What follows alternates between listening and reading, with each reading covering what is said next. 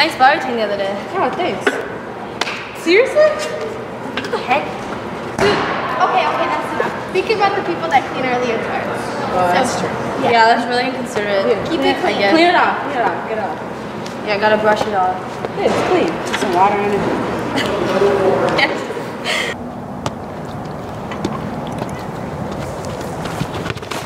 Hey! What are you doing? What? What's wrong with that?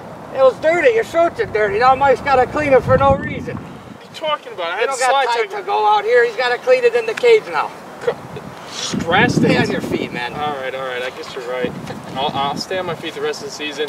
You know, I just won't even tackle anybody. Good. Keep them clean. Don't for the- apologize to me. Apologize to Mike. All right. Hey, coach. Yeah. Come on, you gotta watch your stains. You've been having them all over your shirt. You um, gotta, One, it was only one time. You gotta think about Mike. Really? Really, Nick? There Alright. we go. All right. Thank you. You're welcome. And thanks, Mike.